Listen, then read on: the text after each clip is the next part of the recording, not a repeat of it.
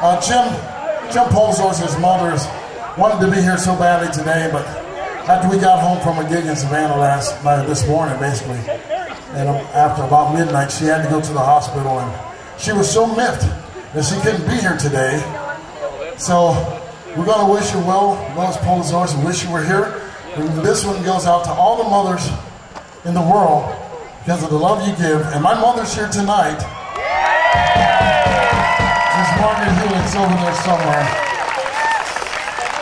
And uh,